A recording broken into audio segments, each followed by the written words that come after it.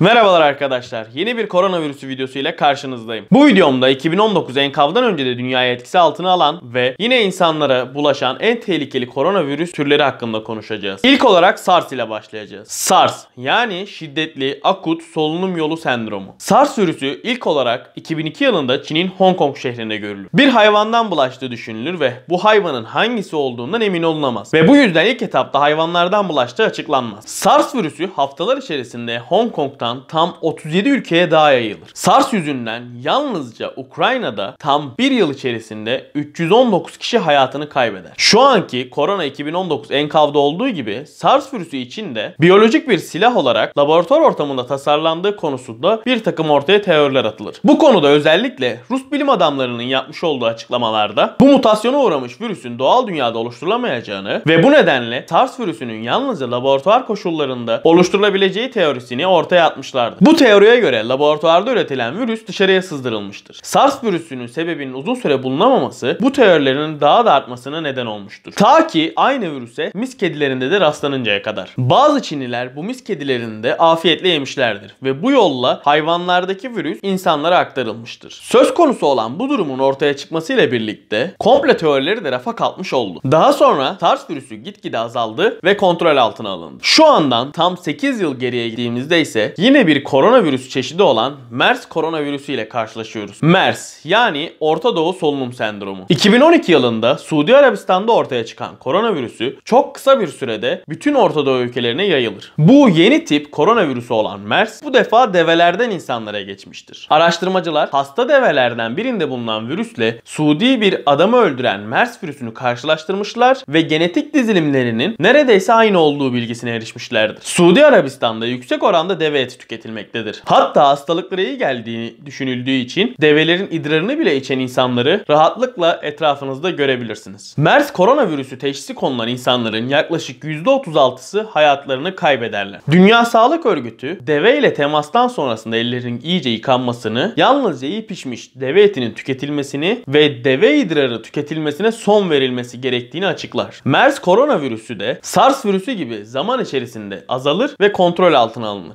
2017 itibariyle 2000'den az vaka bildirilir. Mayıs 2019'da ise Suudi yetkililer tarafından yalnızca 14 vaka Dünya Sağlık Örgütü'ne bildirilir ve bu vakalardan 5'i ölümle sonuçlanır. Göreceğiniz üzere SARS da MERS de koronavirüsünün ölümcül türlerindendir. Evet arkadaşlar bu videomuzda koronavirüsünün geçmişteki ölümcül ve tehlikeli türlerinden sizlere bahsettim. İzlediğiniz için çok teşekkür ederim. Eğer videomu yararlı bulduysanız beğenmeyi unutmayın lütfen. Videomu arkadaşlarınızla paylaşarak bana destek verebilirsiniz. Yorumlarınızı aşağıda bekliyor olacağım. Kanalıma bu gibi daha birçok video geliyor olacak. Kanalıma abone olarak videolarımdan haberdar olabilirsiniz. Hoşçakalın, sağlıcakla kalın.